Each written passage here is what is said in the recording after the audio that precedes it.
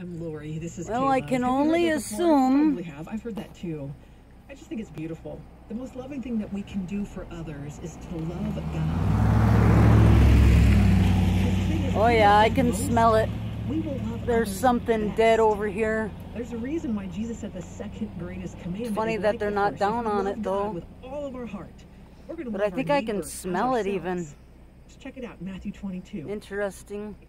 I don't know. I just we have such opportunity every single day to love those around us. They might be acquaintances, neighbors, perhaps total strangers. This is the first time we've even seen their face. But we can show them love because God loves them. Maybe that looks like just making eye contact, acknowledging, "Hey, I see you. You exist."